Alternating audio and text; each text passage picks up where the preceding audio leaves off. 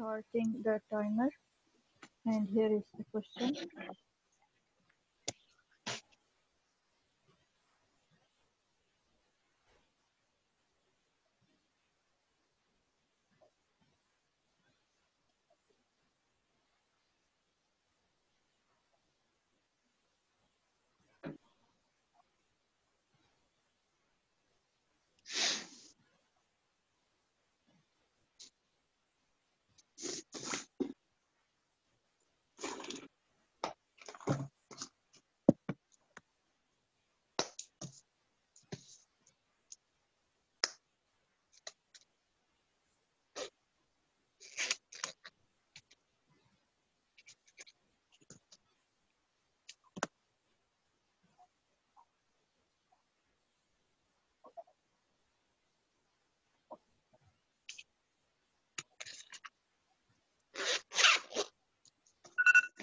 Right, if you have read and understood, kindly begin your history taking.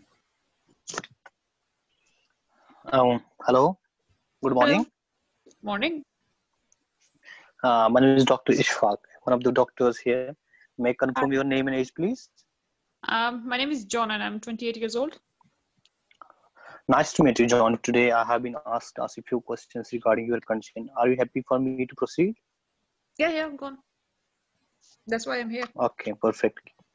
Right, that's right. Can you please tell me what brought you in, here in today? I have uh, pain in my left knee. Okay, I'm really sorry to hear that about. Can you please tell me about more? Tell me about more about this condition. Like, where exactly is the pain? Um, it's in my left knee. It hurts when I walk. Okay, so can you please tell me when did it started? It started three months ago, doctor. Okay, three months ago. Okay, okay. Did you think it was all of a sudden or it's gradual? It was gradual.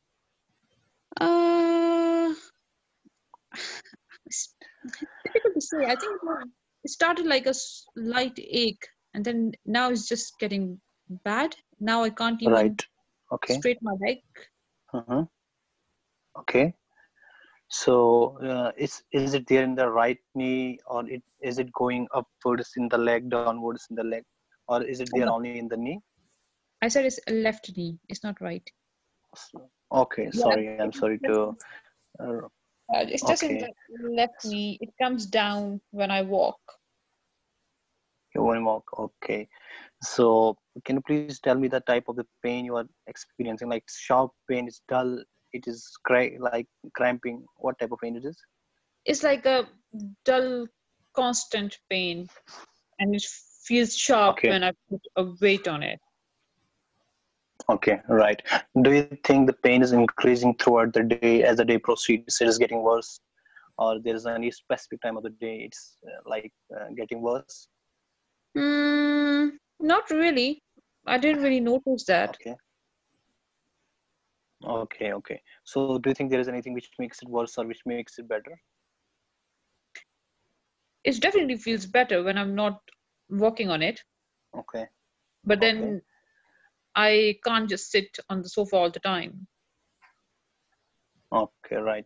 So, can you please tell me, like, uh, how do you rate if you had to rate the pain from zero to 10, 10 being the worst imaginable pain? How do you rate it? At the moment, is four. But if you would have asked me an hour, uh, maybe a couple of hours ago, then I would have said Mhm. I've taken paracetamol. Okay. Okay, right. So, can you please tell me, have you observed, like, when you walk, do you think your knee is going away? Some some sort of feeling like that? Uh, yes, at times. When I'm Okay, walking at times. Do much, then yes. all right. Do you think the pain is increasing, uh, like uh, it's increasing the night time, and when you woke up from the mm, like sleep? Mm, I don't know. It's just there. It's just there all the time. Okay, right. Have you observed any uh, like change in the shape of your knee recently? It feels a bit swollen. Okay, right. I can understand. Uh, have you been experiencing any locking of the knee during like uh, walking, getting up from sitting position, anything like that? Yes, I feel like it's when I'm trying to stand up from the sitting position. I feel my Okay. knee locked. Okay, if it's not. Okay, have you uh, noticed any stiffness into your, in your other joints apart from the knees or any other joints? No, I'm pretty much fit and well. Okay, great. That's great. Have been experiencing any fevers recently or any uh, like uh, local raise in temperature in the knees? They are No. like low. They are raised. The, the temperature is raised in the knees, or you're feeling otherwise unwell, something like that. Uh, no. Okay, right. Have you experienced any weakness or any abnormal sensation, or decreased sensations in your like in your legs? Um, no. Okay, have you been experiencing any unintentional weight loss, any decrease in appetite or so, something like that? No. Okay, any episodes of diarrhea, painful red eyes, any skin abnormality, any skin pigmentation or itchy, something like that? Nope. Okay, that's great. Okay, can you please tell me, do you have any other condition you see your GP regularly or uh, something like that? No. Okay, great. Have you had have you had any surgeries previously? Yes, I had a surgery on this knee. I had a surgery on this knee When was that? a few When years ago. that? Can't remember exactly when I was playing for Okay. Birmingham probably at that Mhm. time. Can't remember when was it. Okay, that's all right. So, can you please tell me, do you take any medications or any other drugs? You want to tell me any allergies? I am not allergic to anything. And what was the other question? Okay. Uh, are taking any medications? Uh, what kind of medications? Any sort of painkillers? Any um, pills Yeah, for your pressure, blood pressure, any other condition? No, no. That's it. I'm That is pretty much well. Yeah. Okay. Okay, great. Do you mind if I ask a few personal questions? Yeah, go on. Okay. Can you please tell me what do you do for a living? I'm a footballer. Okay, great. That's a good profession. So, do you drink or do you smoke? Uh, nope. Sorry. Okay. So, who else is with you at home? Um, I have a girlfriend. Okay, great. So, can you please tell me, uh, have you been experiencing any shortness of breath, any chest pain, any joint, any other joint pain, muscle pains, uh, I told you something like before. that? You asked me this before, and I told you no. Okay. So, is there anything else you would like to tell me that I haven't asked you from your end? Uh, no, I'm just worried what it is. I had a similar thing a few years ago. I had an Mhm. operation. It Okay. settled down. I'm just a bit worried why it just came Okay. back. I can't play. Okay. I can't go So, to my gym Mhm. anymore. right. Affecting my life. I'm a footballer. I need to be on ground. Mm, Yeah, I can appreciate your concern. So, can you please tell me what do you think? What might be cause you? What might be causing this problem? I don't know. That's what Your I'm knee pain. you to tell me. Mm, Right, and that's right. So, what's your biggest concern about your issue? Is it something like I had a meniscal tear a couple of years ago, which they repaired? I think is it the same thing again? Okay. Okay, we'll work on that. We'll, we need to do few more tests. Tests. I need to discuss this with my consultant. We'll came to know that. I will get back to you on that thing. Okay. So, what are you hoping us to do? Or what I'm hoping you to do? I don't know. Yes. Okay. So, know. you, you do, when you came, you, you came to us today. You must be having some hope. You must be having some plan. Like, what what we can do for you? I want you to tell me what's wrong with me with my knee. Okay, okay, that's all right. Definitely, we're going to tell something. Okay, that. Thank you very much for your time. I appreciate your time. Thank you very much. No worries. Thank you. I would Bye. like to. Pre- Yes, Okay, can you please summarize thank, your case? thank you. Okay, I would like to present my case today. I have taken history from a 25 year old male who came with the complaints of left 28 year old male who came with the complaints of uh, left knee uh, pain. It is associated with the swelling. Patient experiencing pain as the day proceeds as he's having some activities. Patient is a footballer by profession. So uh, he has observed some local changes in the foot-like swelling and he is experiencing locking of the knee during getting up or during moving. Uh, So he what are your it does not potential diagnosis? Oh, okay, so my differential diagnosis is the meniscal injury, but at the same time, I would, I would also like to rule out other conditions like osteoarthritis, uh, secondary osteoarthritis to injury, like this patient has been previously operated, and septic arthritis, rheumatoid arthritis, um, uh, this cruciate ligament injury. So these will How be the differential should this patient be managed? So I would like to, after the uh, after thorough examination of the both lower limbs and this uh, knees and joints above and below the knee, I would like to send some investigation, basically investigate full blood count, uh, markers of inflammation, and do an X-ray of the um, joint AP and lateral view and compare with the other view, uh, other joint as well.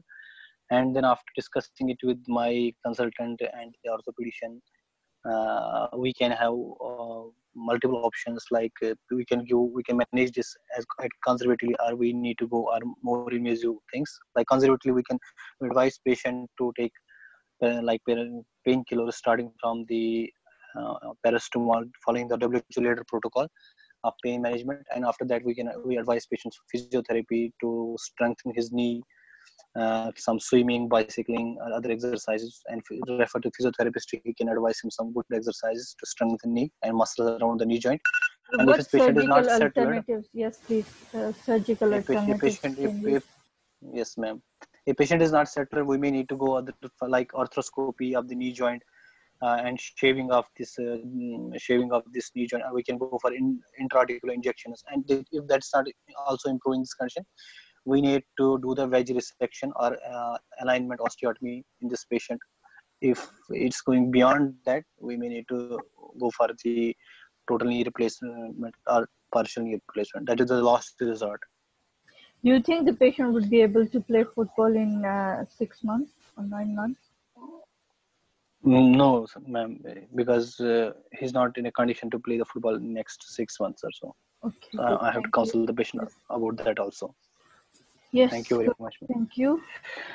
Yes, my Thank you concern much. time you took two minutes. Time, extra, Yeah. Otherwise, Yes, it was good. You covered everything, ma'am, so time. it's just the time. Yes, It's have at the to time bring I'm it back. working on that. Yeah. Yes, ma'am.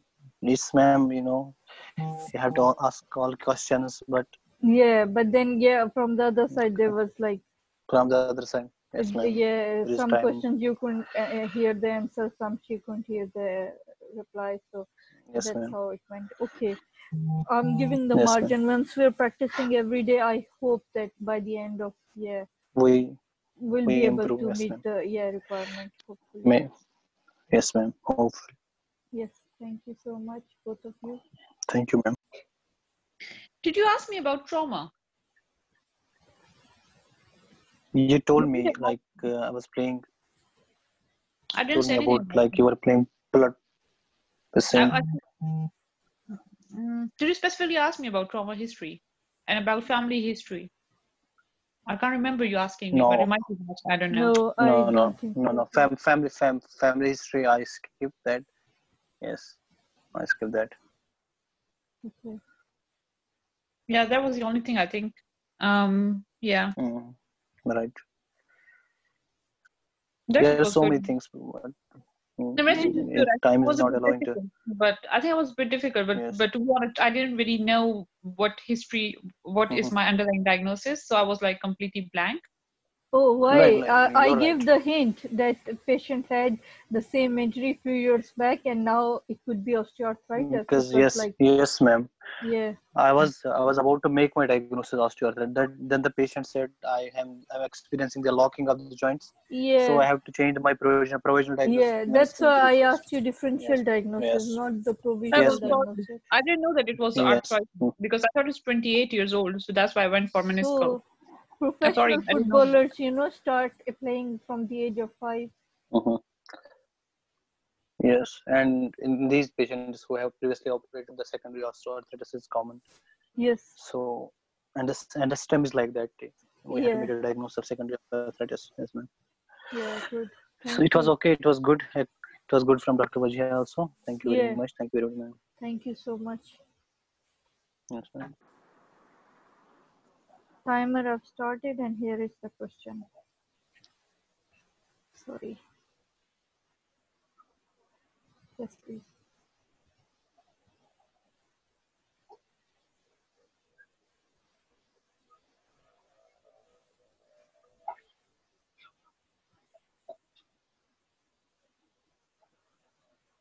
So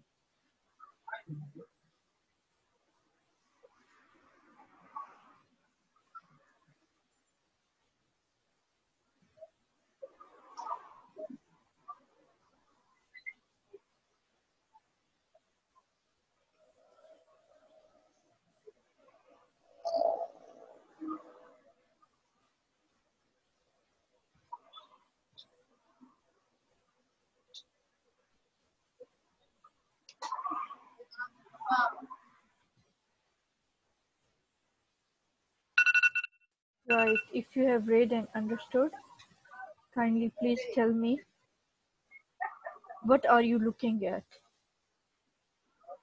on uh, This is left cerebral right? arteriogram. Yes. Okay, if we begin from uh, the left hand side, can you please identify all the structures from A to F? B, this is internal carotid artery. A, this is the medial cerebral artery. F, this is anterior cerebral artery. E, this is the funicular branch of the anterior cerebral artery. D, the posterior communicating artery. Uh, not quite. Okay. All right. A is right. Uh, what did you say? What is A? the anterior cerebral artery, Right middle cerebral artery. Middle cerebral artery, Yes. B, carotid artery, B is right internal carotid artery. Yes. And then C. C, Lenticu lenticulo striae branch of middle cerebral artery. medial cerebral Okay. artery, And then D, posterior communicating artery, anterior cerebral artery. anterior cerebral artery, E, funicular branch of the anterior cerebral artery, yes. And uh, F, anterior cerebral artery, anterior cerebral artery. Yes, please. Good. And uh, on the right hand side, please. this is the ophthalmic artery, Yes, ophthalmic. Very good. B, please.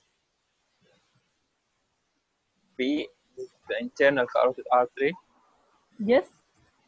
Internal, yes. And then C is, the common carotid artery, yes, it's also internal carotid artery, but it's Okay. another, uh, that was cavernous portion B, and this is the other. And then what about, sorry, and what about D?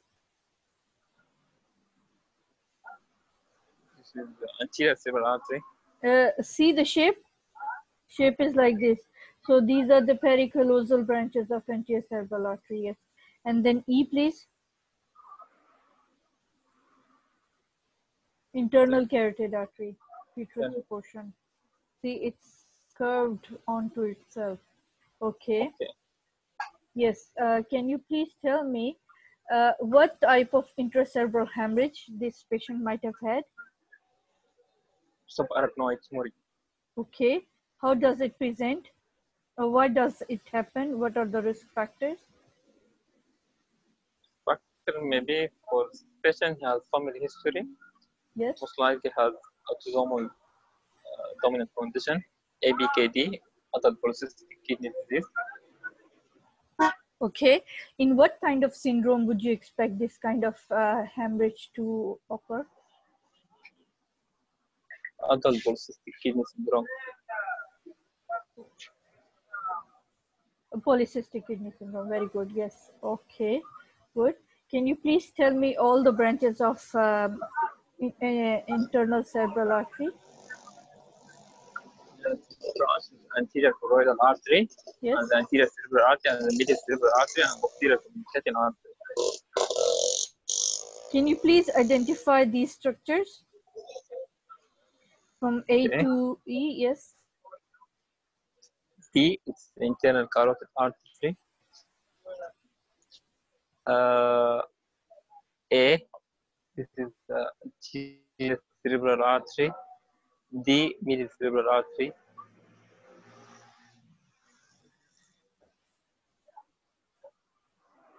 Okay. C maybe ophthalmic artery. E posterior communicating artery. All right, we are moving. right. For, uh, we'll discuss at the end. Okay. Can you identify Okay. all the structures here from A to F, please? What is it? What are you looking at? This is the cerebral arteriogram, Okay. magnetic resonance angiogram showing the circle of Willis. Okay. Isn't it carotid B is an- Yes. Yes. What are you looking B at? is the A? anterior. B anterior communicating artery. Yes. What about A? C A this is internal carotid artery. Yes. C, please. D this is the anterior cerebral artery. Yes, please. And D. D medial cerebral artery and E is the basilar artery and F posterior communicating artery. Okay. Can you please tell me here what this uh, arrow is pointing at? The medial cerebral artery. Okay. Oops, I'm sorry. What are you looking at here? Can you identify? Uh, the medial cerebral artery. Uh, arrows are here, okay? Which this one is? This is the medial cerebral artery, Okay, and another arrow is here, anterior cerebral artery, right? And the third arrow is here. uh, internal carotid artery, Okay, one arrow is here. the right cerebral artery. Can you please tell me what are the signs of a medial uh, cerebral artery infarct? How would the patient present? Will be if uh, aphasia, if it's the dominant phase, there will be contra hemiplegia in the contralateral side of the upper and lower limb, and also hemiplegia of the lower half of the face. Okay, can you please tell me what are the branches uh, that are given off before anterior cerebral artery? Uh, and uh, it uh, meets the middle cerebral artery. So if there is any branch, The ophthalmic artery, yes, very good. Can you please tell me from which foramen it uh, transmits? the carotid canal in the Okay. part of the temporal. Yes. And can you please tell me the course of vertebral artery? The vertebral artery, uh, it is arise, uh, enter the foramen magnum, Yes. then for, uh, pass upward and forward uh, into the anterior surface of the medulla oblongata. Uh, then join the other vertebral artery to form the basilar artery. Okay, good. Can you please also tell me? Uh, right, I'm sorry. Question. Can you please tell me what you understand by the term blood-brain barrier and how does it work? Uh, blood barrier are uh, blood brain barrier is uh, uh, formed from the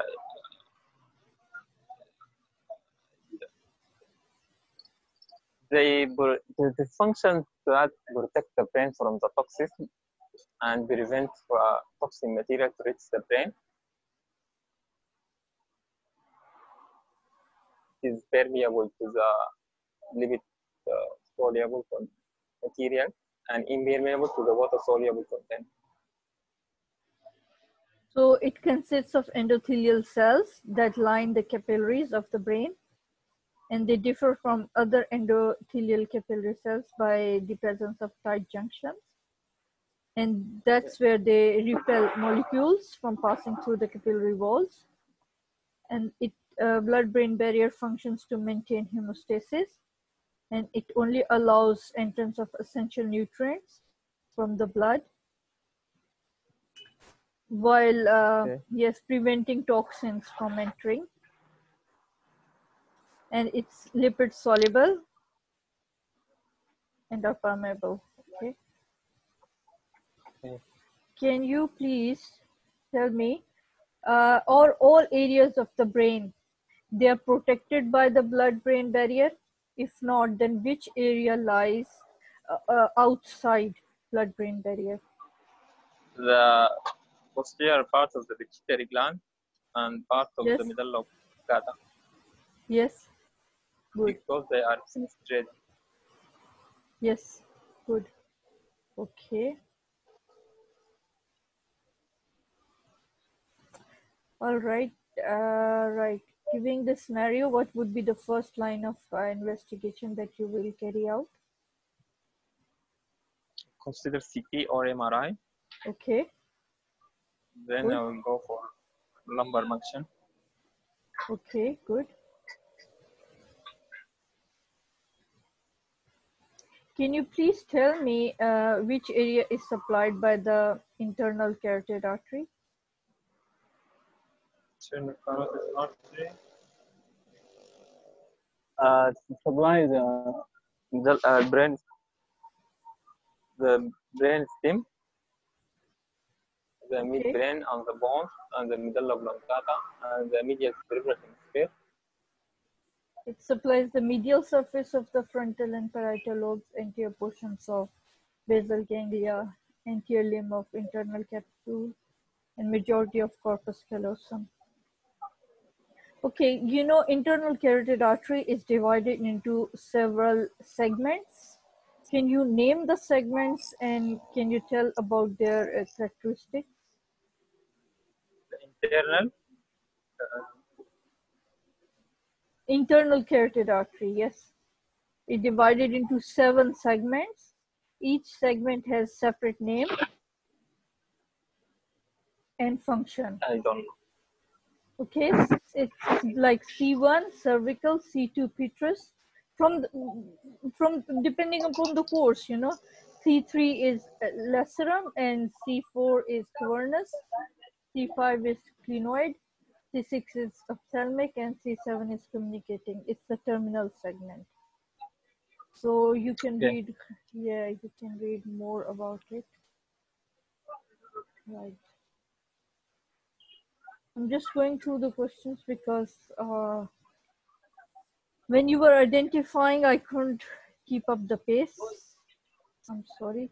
Yes this one you wanted to confirm right? So we'll Okay. yes anyone else would want to help you or?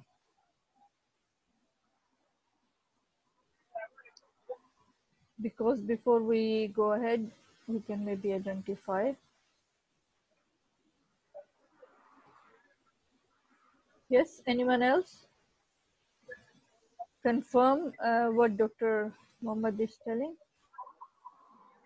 ma'am is ma'am B internal carotid artery? identify B. all and then we'll confirm i'm just trying to bring out Okay. Um, uh, according to me, it's also I think A is the- carotid.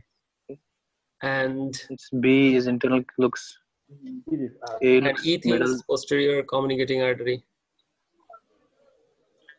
and A I think is middle cerebral artery.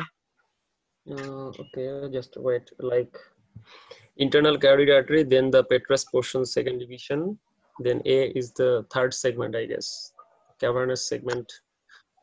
It's a C. And Is it then, ophthalmic um, artery? Sorry. Mhm.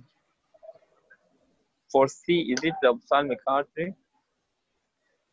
No, no. Why should ophthalmic artery in the posterior aspect? That should be anterior aspect. You can see the bony marks, the occipital bone here. It's the posterior aspect, right? Dr. Sunday, what do you say? Oh, it, it, I'm, I'm trying to figure it out. It's hard. okay a No, is po- E is posterior inferior cerebral. Yeah. all right a is basilar artery B Basilar is artery. vertebral artery Oh, C is muscular branch of vertebral artery. See, small muscular branch. Okay. Okay, and D is superior cerebellar artery, and E E is is like- anterior inferior cere- cerebellar- Anterior inferior cerebellar. artery. So that means the other one was Anterior. Ma'am, can you say it again, please? Yes, please. A is basilar artery. B Okay. is vertebral artery. C is muscular branch of vertebral artery. See, this is vertebral artery and this is giving off one branch. And Yeah. coming back to D, it's the superior cerebellar artery. Superior cerebellar. And then E is anterior inferior cerebellar artery. So anterior coming off from anterior and inferior cerebellar. Okay. Um, So ma'am, can you yes, next slide? next or the previous. Okay, Next slide, I think. yes, No, no, no. The next one, not this one. a previous one. Yes. Is it this one? Yes, okay. Uh, tell Dr. Sunday, we'll correct. Which one are you looking at on the right hand side or on the left hand side? No, not not this slide. Uh, the next one, the previous one from this one. No, no, no, no. The other side. Yes, this is the first, okay. Oh, okay. Second. And then this one we just discussed, and this, the next this, one. Yeah. and then this. No, no, no. The back. Go back. Yes, Yeah. He said uh, that is a middle cerebral artery in this slide. No, that is a No, there's a- no, No, it's on aneurysm. Yeah. He he knows he has to revise the whole chapter again. Okay. And then Yes. uh, for the course of vertebral artery, I think they will show picture for all the uh, seven cervical, uh, cervical vertebra, and they will ask to point the course of vertebral artery on each picture okay. accordingly. From seven, which is none, then six, show, show, onto uh, the atlas. Then what group is this? How did you enter? Before going back to the brain, Yeah. to the skull. Okay. Yes. Yeah, I could have done that. I could have, yeah, but I didn't have that one. I'll find one and yeah. Good idea, yes.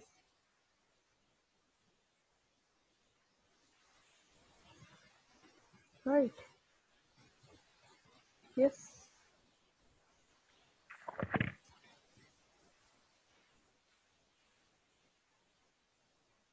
Right, okay. Thank you so much.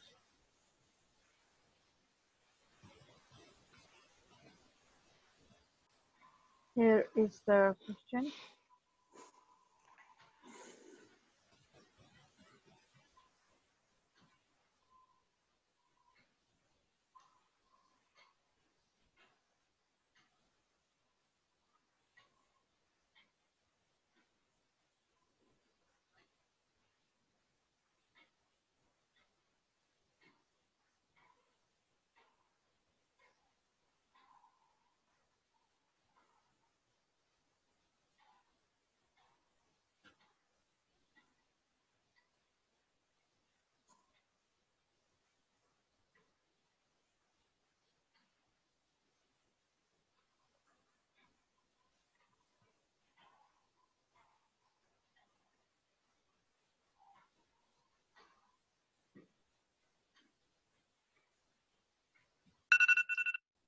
You have read and understood, kindly tell me considering the critical care station, how would you manage this patient? Yes, ma'am. Considering this scenario, I would uh, like to manage the patient according to uh, CCrISP protocol. Uh, I will initially assess the airway. So I'll talk to the patient and see if uh, he's able to communicate. Then uh, once I confirm that his airway is patent, uh, next I'll move on to breathing. I'll check the neck first, uh, look for any obvious tracheal deviation. Then I'll inspect the chest. I'll have a look at uh, the air entry, uh, look for the chest movements if it's equal on both sides, if all the seconds are moving equally. Um, then I would uh, uh, palpate uh, for equal chest movements and I'll percuss for any obvious uh, deficiency on each areas and then I will auscultate for equal breath sounds on each sides. Here, considering this scenario, I would um, find that there's decreased breath sounds on the right side. Okay, Um, so I would uh, uh, consider that um, an immediate possibility of a tension pneumothorax post considering the recent procedure. Um, and I would have to act as an emergency and I would have to uh, consider a needle thoracostomy for this patient. okay. Um, should I describe the procedure? How would you take care of the uh, vitals? Heart rate is 123 and Yeah, the heart rate is 123 and the patient is uh, at the moment uh, in respiratory distress. I Yes. would uh, cons- It's shortness of breath, and uh, I would consider that there's a possibility of a pneumothorax in this case first. Okay. Um, depending upon, I mean, depending upon the insertion finding of the trachea and uh, deviation in chest, find, chest findings. Who would you involve in the management of this patient? Um, I would involve the intensivist, uh, ITU intensivist. Um, considering that this patient is requiring a dialysis, I would uh, involve the renal physician, um, the ITU intense, I mean, uh, consultant, um, and the surgical consultant as well. Okay. Uh, can you help me to read this X-ray, please? Uh, first, I'll concern the details of the patient. Uh, check that this patient, this was X-ray of taken of so and so patient taken on so and so date. Um, I would check for the radiation and exposure. Moving on to the airway, um, um, I can obviously see that there is a, a deviation of the uh, um, the trachea to the left. and there is an obvious uh, compression of the right um, lung towards, and there is a mediastinal shift towards the left hand side. Um, uh, the uh, cardiac shadow is also displaced towards the left and the diaphragm is obviously uh, displaced downwards on the right hand side. Uh, the obvious diagnosis I would consider would be a tension pneumothorax Yes. in this case. Yes.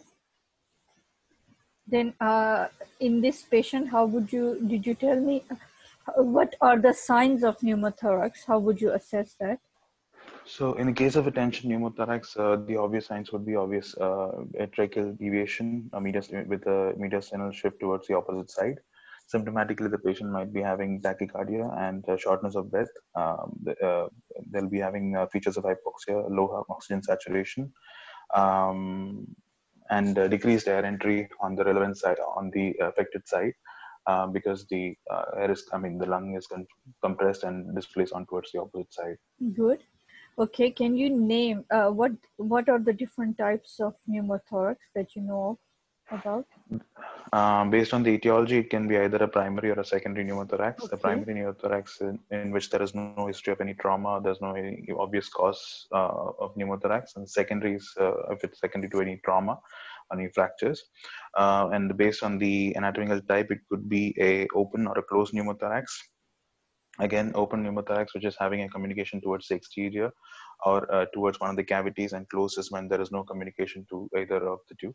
Uh, and simple and a tension, uh, simple pneumothorax or a tension pneumothorax is basically when um, a simple pneumothorax is again a communicating pneumothorax towards one of the tracheal bronchial uh, apparatus, and as such, there will be a free communication either towards the uh, the respiratory tree or towards the exterior.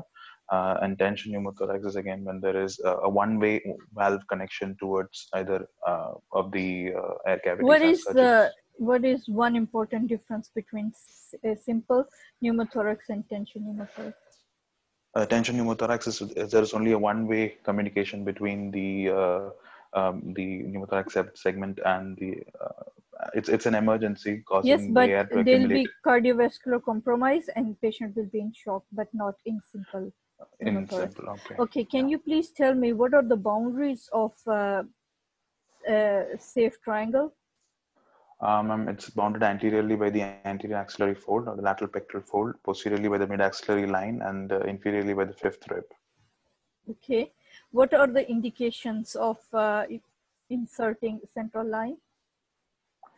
Uh, when there is a need for a continuous monitoring of the electrolytes, uh, if there's an indication for TPN uh, monitoring fluid balance, if there is no obvious peripheral venous access uh, and failed multiple peripheral uh, venous cannulation attempts um, for the patient, if there's a need for hemodialysis, there's also an indication in severe burns where we can't get good vascular access for the patient on those kind of conditions. Okay, so what are the complications that you expect to see?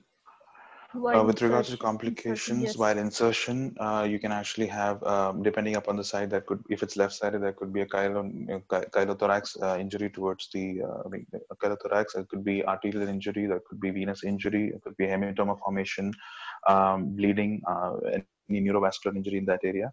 Um, then once inserted, it, uh, with long-standing uh, catheter insertion, there could be catheter-related sepsis, uh, deep venous thrombosis, uh, infection, Yes. uh, etc. Can you tell Um, me then obviously yes, pneumothorax. Yes. Again, again with That's en- the entry, there could be pneumothorax. That's, Yeah. the, that's the most immediate complication that you expect. Okay.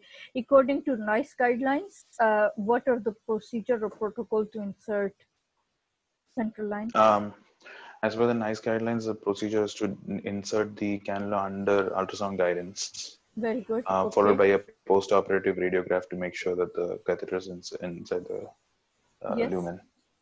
All right. Can you tell me, please, uh, what is the what is the indi- indications of removal of central Uh, line? indication of removal when the acute uh, requirement for uh, this is over, acute insertion f- uh, requirement for the uh, cannula insertion is over, and uh, um, when the patient is the the need for insertion, I mean the central vein uh, insertion is over, and uh, uh, or if there's any chance uh, catheter-related sepsis, or there's Yes. cessation of cardiac monitoring, uh, and the patient is fit for discharge. Can you tell me? You talked about success Then uh, can you tell me how would you ensure uh, that uh, to prevent the central line infection? So while it starts basically while the time of insertion, uh, when when we are inserting the the central vein catheter, we we should basically uh, we should uh, look at universal precautions. Uh, sorry, we should perform proper hand hygiene. We should apply the local uh, uh, uh, skin preparation agent. Uh, we should pr- uh, perform the entire procedure under aseptic non-touch technique um, the the person individual who's performing the technique should be um, competent to do the procedure and he should be experienced and uh, he should wear, all the, the sterile gown and gloves and cap and mask and perform the procedure under aseptic uh, precautions and the catheter should be uh, placed according to the proper uh, uh, procedure and should be removed after the indication is uh, uh, is finished or after the indica- as far as the indication is met so it should not be left in situ for a long time Okay, one last question. Can you please tell me the surface marking of internal jugular vein? Um, and it's from the ear lobule to the uh, medial end of the clavicle. Okay. Why this landmark is important? For the cannulation of the uh, external jugular vein. Very good. Um, yeah. Yes. Um, I, uh, uh, is the questions done, ma'am? Yes. Ma'am, I had a doubt regarding this because I'm actually presenting this right now. Um, uh, when we go about with the presentation, do we like uh, ABCD protocol? Uh, um, as far as we find, I mean, the guidance says that we have to find if we find a fault in one of the problems. Like if I'm going with this, we go from airway, then breathing, and we find something's wrong with breathing. You deal with it, and then you come back and then go ahead. So will we directly? I mean, like I said, like I was explaining today, uh, will we be presented with it? as in with the examiner show or say that this is the findings that you're finding so what you will do, do with it Uh, it will be according to ABCD protocol. no ma'am i understand they- that what i'm Yeah, what I meant maybe is- I'm not understanding your question. No what i meant is when i'm saying uh, breathing i'll inspect the next and i'll check for any tracheal deviation i'll look for chest movement so will the examiner will be like uh, okay this there's the trachea is deviated towards the right side There- They will ask you how would you right-hand side. assess breathing in post pneumothorax patient. So patient has pneumothorax now, and you will be Mm-hmm. asked to uh, okay, how would you assess breathing in that patient? So then you'll tell about the all the parameters that includes respiratory rate, rhythm, oxygen saturation, drifting of trachea, chest movements, if it's Okay, so or not, like and then respiratory use of respiratory muscles, use of accessory muscles, then use of um, then you'll tell about the skin colors, nail beds, uh, percussion, auscultation, like everything that you Everything, would yeah, yeah. consider in real life. We'll talk Mm. about that. okay Yes, Dr. Ishfaq is also telling. yeah Yeah, good. Right, good. Okay. Yes, it was good. Uh, yes, some questions you could answer very well. Some uh, you had to think and recapitulate. So maybe one reading uh, it will help. yeah Like the last one when I asked you how would you prevent infection, so you had to think. of- sure So yeah, so once you read and uh, hopefully I think it will be excellent. Yeah. thank you Thank, Thank you you. so much. Starting timer, and here is the question.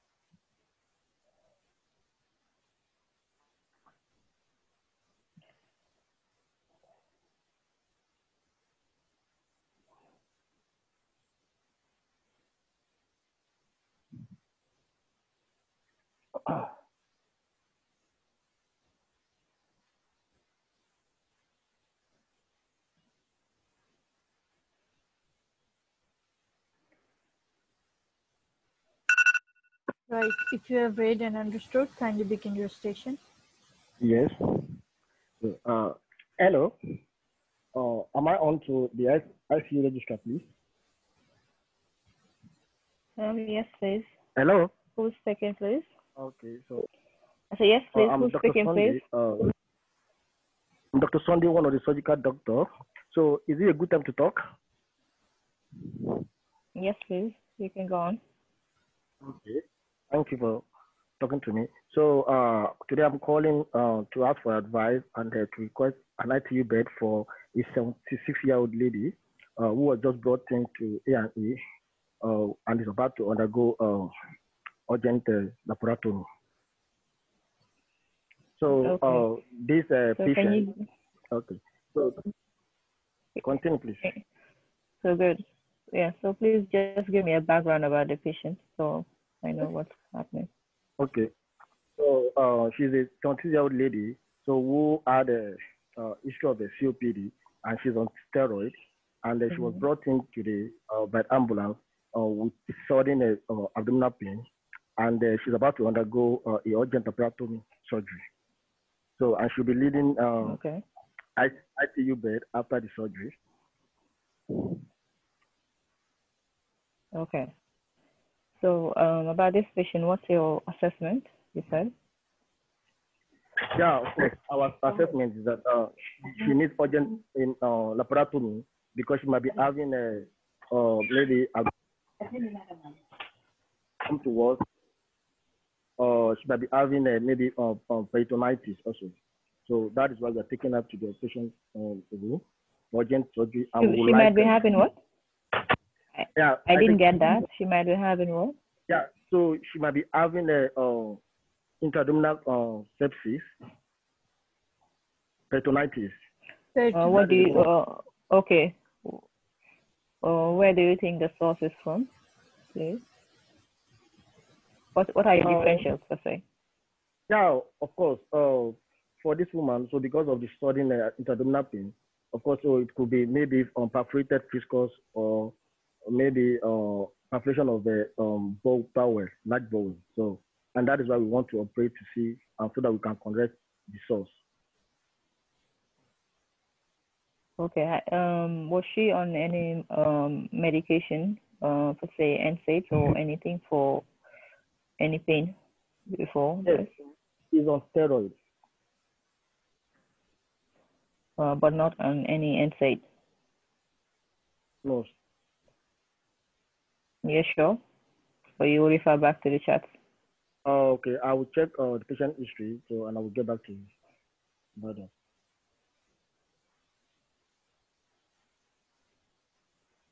Okay. What fluid resuscitation would you do for this patient? Oh, Okay, so basically, I will give this patient the uh, IV crystalline solution. Um, that's a Apan solution at the rate of a 20 uh, milligram per kg, so over 15 to 30 minutes. And I will observe the patient um, respond to fluid challenge after. Okay. Have you checked the hemoglobin recently? How much is it? Uh, I don't have that information right now. Sorry for that. Uh, I will check, and uh, if there's none, then I will try to run the lab test for that and get back to you. Okay. Have you done any ultrasound? What have you seen?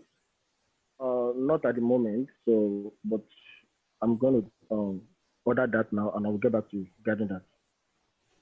So what pre-op things are you going to do or suggest for this? Okay. So for this patient, of course, the, the most important one is a fast ultrasound. Then, uh, uh, because the patient needs surgery immediately, so I think uh, uh, patient does not need CT scan right now.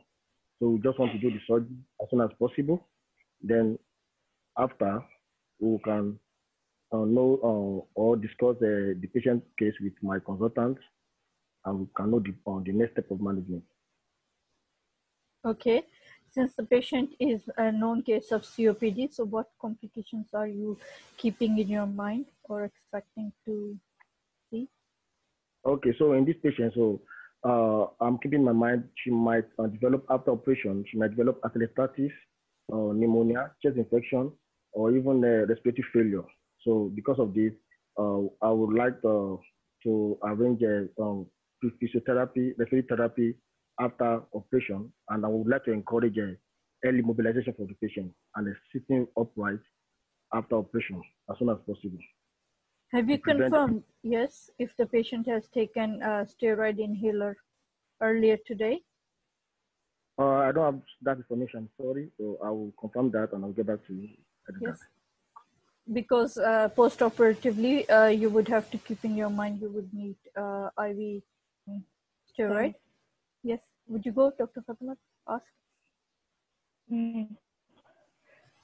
Okay, okay, okay. I think you, I think you've gone far now. Hello. Yes. So, And I, no, I was saying I think you've already gone far asking him about the steroids. Yes. How Um, much oxygen would you give?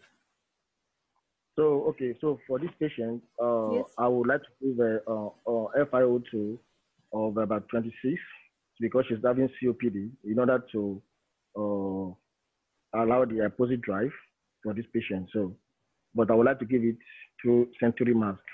Yes. How? How would you give oxygen? I said through uh, uh, Venturi mask. mm, Non-breathable mask. Yes. Okay. non-breathable. Mm, Can you please tell me what are the criteria for uh, ITU admission? Because you want to send the patient to ITU. Does Yes, the the- patient meet the criteria? Yes, because now she's uh, she has COPD and there is an impending danger of a respiratory failure, and also she's having a uh, a severe abdominal pain which might denote uh, maybe peritonitis or sepsis. So which are and these are indication for ICU ITU in, um, admission. That's multi-organ failure that is reversible, and also severe illness like uh, peritonitis or sepsis. And also she will need a, a close monitoring, one-on-one monitoring after operation and then she might also need a uh, what you call inotrope or even a intravenous monitoring of the central venous system. And also she needs a okay maybe she might need an invasive uh, uh, ventilation after due to COPD. Yes.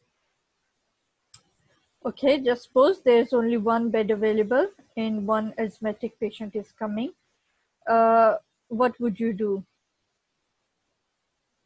Well, uh, I will still proceed with this uh, with the surgery because it is my emergency, and Yes. uh, uh, I would like to uh, allow the bed manager to discuss um, Yes. to find a way of uh, creating space for this patient because she needs uh, the ITU admission as soon as possible due to her condition. Okay. Uh, if you have taken the ABGs of this patient, how would you expect them to be? Okay, so for this patient, due to her current condition, I would expect her to have a, a metabolic uh, acidosis. Very good. Okay. Yes. Can you repeat the Can you repeat the advice I've given you? Okay, so uh, you asked me uh, the kind of uh, fluid uh, therapy I'm going to give to this patient, then uh, uh, whether if uh, the patient has, has been on any drug, especially Yes. steroid, Yes. and whether she has taken any steroid today, and the, or the cost of steroid uh, therapy up, during operation and after operation, and also how I'm going to make um, bed available for this patient, Yes. and how to avoid uh, the complication of COPD. Very good. Yes. Thank you so much. Yes. Good. All right. Timer is here, and here is the question.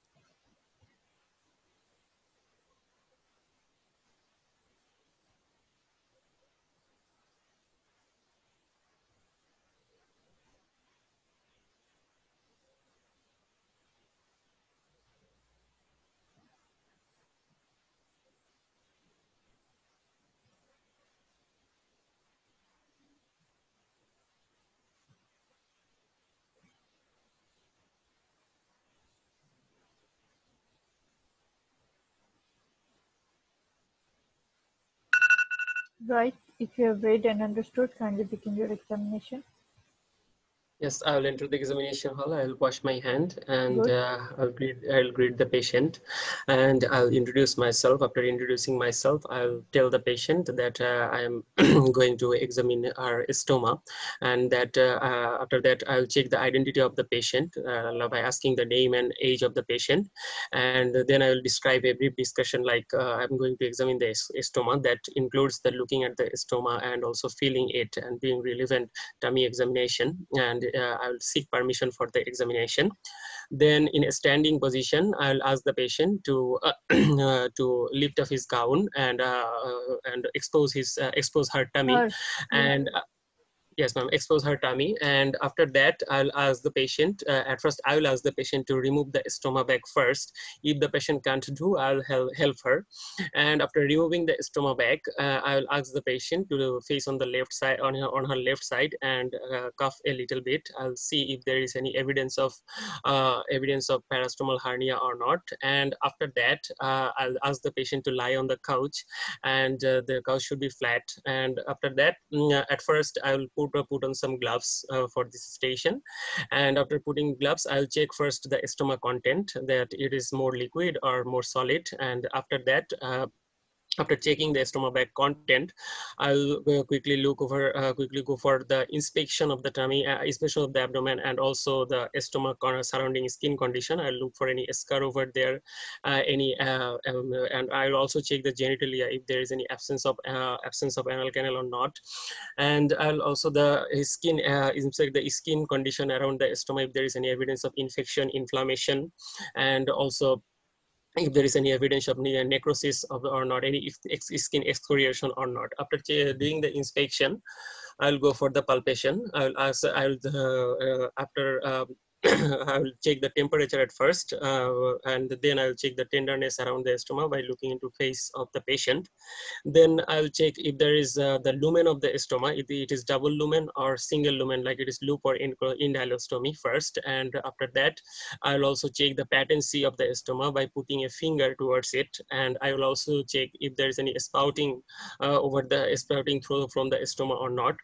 And after checking that, I will uh, I will check uh, the really I, I have already done uh, the uh, genitalia examination. And then I'll do the relevant abdominal examination. Uh, after I'll do the superficial palpation I will do the uh, in nine different quadrant region if possible. Then I'll go for uh, the deep palpation. Uh, then I'll check the left uh, deep palpation of the left kidney also spleen and deep palpation of the uh, right kidney if possible. And also I'll try to palpate the liver.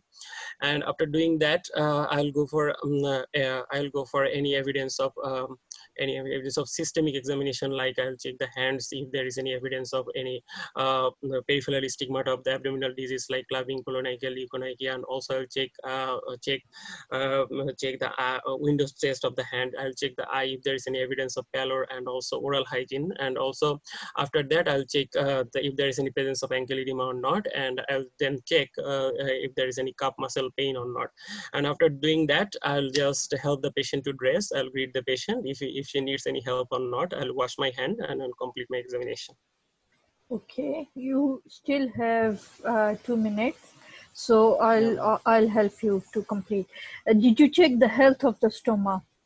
How was Yes, it I- in looking like uh, it was pink, necrotic, or okay? Then how would you Yes, make sure if the output was high or low from the stoma?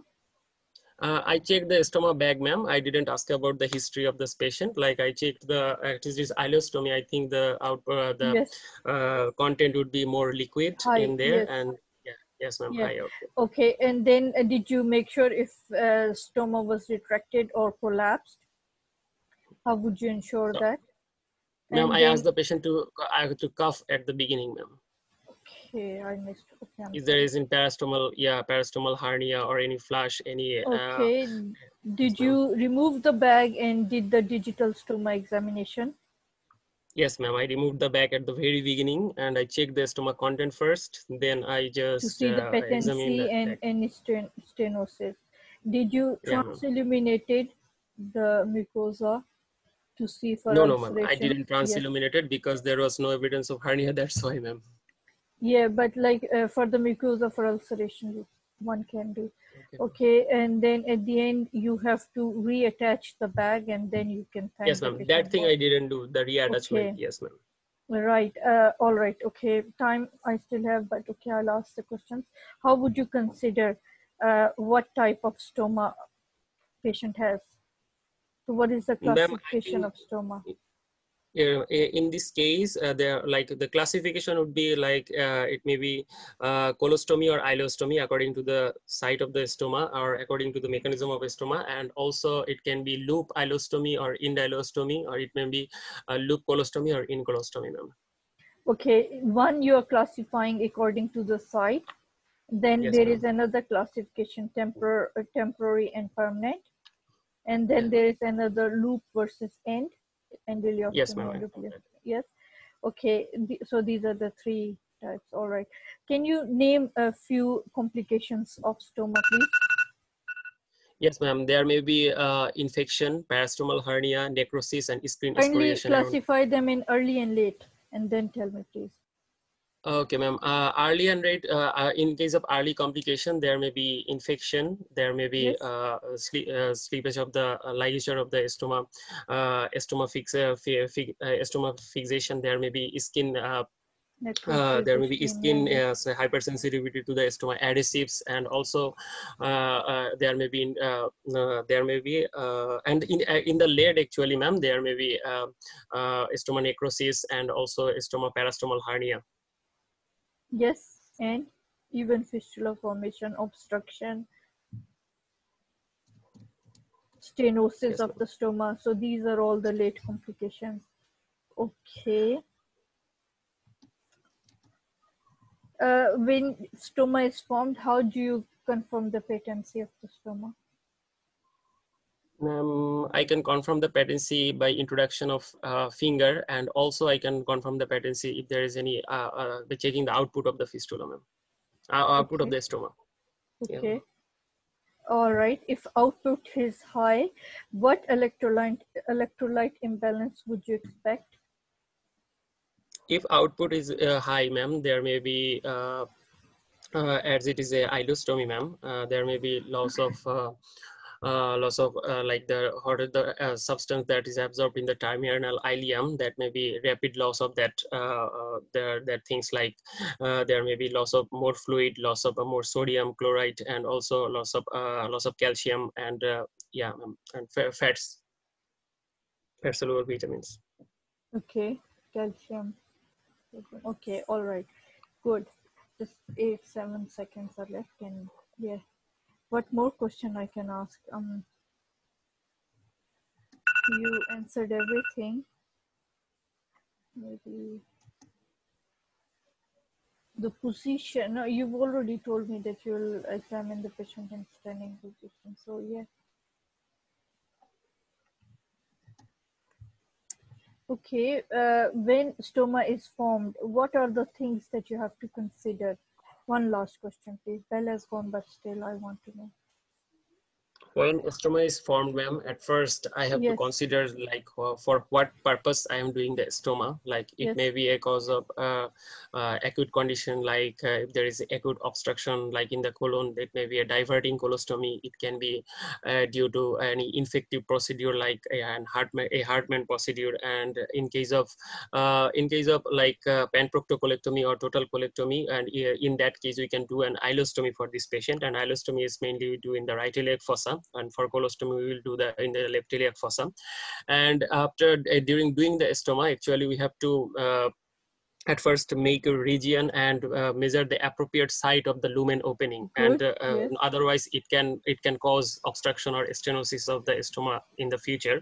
So we have to at first check that and then i have to uh, the terminal portion of this uh, of this uh, GI, uh, GI tract at first we have to evert this and we have to make fix this with uh, uh, with the uh, overlying skin first and also in the deep tissue so that the stoma cannot be mm, cannot be reversed inwards so these things uh, we have to check Yes, that and we have to check the patency of the stoma at the- Yes. from the very beginning and also output Yes, and then uh, it should be within the rectus abdominis muscle away from the belt line.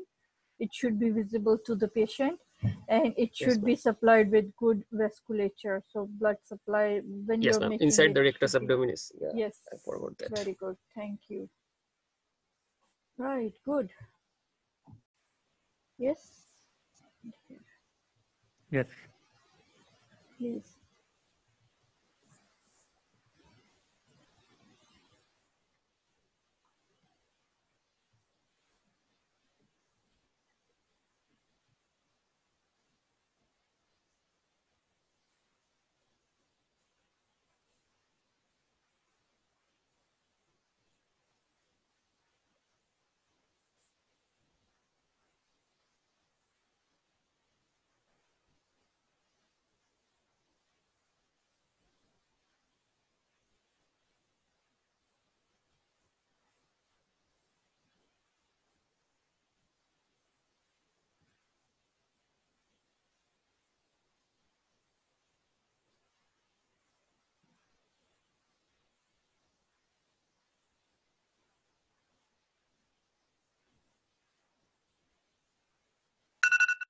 Right. If you have read and understood, kindly Okay. begin your I'll examination. I'll okay. You have six minutes. Okay, I'll ent- Yes. Okay, I'll enter the room. Uh, I'm Dr. Nadim, one of the surgical candidates. Uh, I'm supposed to examine uh, your hand and forearm. Mm, uh, I'll look and move your hands and fingers and also do some special tests. So if you have any pain, just tell me beforehand. And uh, uh, if you feel discomfort during the examination, you can stop me. Is that okay with you? Yes. uh, Carry on. Right. So after that, I'll uh, place the, uh, uh, I'll uh, tell the patient to expose mm, the forearms uh, above the elbow, up to the elbow, and place both the hands on on a pillow. Good. Mm, after that, I'll look at uh, the affected hand first, uh, and we'll look at the uh, sh- shape or any swelling or deformity of the fingers, or uh, uh, the wrist joint, or any visible nodules on the elbow, and any uh, scar marks or discoloration or any uh, vessels, visible vessels. After that, mm, I'll uh, feel with the help of back of my uh, you know, hand the temperature mm, of the uh, fingers and the mm, forearm, and also looking at the face of the patient to see for tenderness if there is any, and also palpating for the uh, any nodules and any uh, nodes or uh, nodes uh, in the uh, joints or any uh, splinter hemorrhages in the nails or Genevis regions. And uh, after that, I'll mm, tell the patient that I'll palpate the uh, joints of the fingers to see any tenderness. In uh, distal and uh, proximal interphalangeal joints, the uh, metacarpophalangeal joints and the wrist joint. And then we'll also uh, move the fingers uh, and the hand laterally, medially, flexion, extension, uh, passively and actively both. After that, I'll tell the patient to grip my uh, finger or pen. And uh, after that, uh, pincer movement uh, with thumb. And for, for Froment sign, uh, I will put a paper between the thumb and the uh, index finger. And if the thumb doesn't bend, then it will be negative sign. I'll also tell the patient to resist adduction of the fingers and abduction of the fingers uh, by putting my fingers uh, between the fingers of the uh, patient. Uh, I'll also mm, tell the patient to uh, tell me if there is any pain by doing the uh, test, if there is any radiation of pain in the palm, and also prayer sign and Phalen's test uh, for any symptoms if they occur. And uh, I'll also uh, uh, touch a cotton bud on the forehead or uh, forearm of the patient and will tell him to close the tell her to close the eyes and to tell me if she feels it. So for radial now i will uh, touch it in the uh, web space for median on the index finger and for ulnar nerve on the uh, small finger, little finger, sorry. And I also look for sensation on the medial and lateral aspects of the palmar aspect, uh, laterally for the median and medially for the ulnar nerve. How Uh, would you do the after that- test on the patient? Phalen test, I'll uh, uh, tell the patient to uh, uh, flex the wrist mm, with fist and uh, mm, forcibly and uh, against resistance. So if there is creation, uh, any sensation of tingling or uh, pain uh, in the palm area, then it will be a positive Phalen's test. Okay. How would you carry out the Tinel's test? I'll tap the mm, area on the volar Yes. aspect Yes. of the wrist joint Yeah. on the flexor retinaculum or the flexor retinaculum and if there is any sensation of tingling or pain it will be positive Okay. after that i'll uh, mm, look for any tender nodules on the uh, interphalangeal Elbow. joints and elbow extensor Along surface way. we'll also examine the uh, mm, contralateral hand and uh, Good. will cover the patient thanks the patient uh, Uh, You're already. Uh, can you please Yeah. tell me how would you make sure if uh, patient's palmar and dorsal interossei are intact? Uh, so for that, I did the adduction and uh, abduction of the fingers. Yes. Okay, good. How would you make uh, sure? sorry, yes. I, I I just forgot one thing. Uh, for distal interphalangeal joint flexion, Yes. I'll put my fin- fingers uh, just beneath the uh, distal interphalangeal joints, and for the uh, flexor digitorum superficialis function, I'll uh, keep the neighboring fingers mm, blocked while allowing only uh, the finger to be tested to flex. Okay, good. Good. Now you can uh, summarize your case, please. Okay, I have examined this uh, lady, 55 year old lady. Mm. If the positive signs were there, then I say that uh, there was no visible deformity or swelling uh, or uh, erythema, uh, and uh, there was no tenderness on fingers or uh, distal joint or the forearm, and no nodules were uh, palpated. Uh, Tinel's test was positive and Phalen's test was also positive. Uh, while all the sensations of ulnar nerve, median and uh, radial nerve, uh, along with the uh, So what Moments, was your they differential were normal. uh, it may be uh, carpal tunnel syndrome, Yes. secondary to diabetes mellitus, obesity, uh, female gender, rheumatoid arthritis history, uh, Yes. any previous trauma, mm, you, uh, and use of some What would you do to confirm uh, to confirm your diagnosis or to complete your? I, I do electromyographic studies and uh, nerve conduction studies, and if needed, also mm, do uh, the examination of upper joint and special neck joint. Uh, and uh, neurovascular examination, full neurovascular examination and Okay, what also MRI. investigations? Yes. Okay, what should be the of the treatment? Yes. What should be the treatment? Treatment from uh, uh, treatment will be from uh, conservative to uh, more invasive. So uh, we may use splints, uh, rest, elevation, compression bandage, uh, and uh, weight loss mm, with painkillers and exercises with physiotherapy. Mm, and if they uh, do not work, then uh, we can go for carpal tunnel uh, decompression, which may be laparoscopic or more invasive open surgery. Very good. Okay, one last question, please. Why would you ask for electromyography and nerve conduction study? Okay, just to uh, rule out uh, uh, if uh, uh, uh, the problem is to localize the problem, like different nerves velocities or nerve conduction, they will be compared, and it will guide us regarding the level of entrapment or lesion. Very good. Thank you. Thank you. Thank you.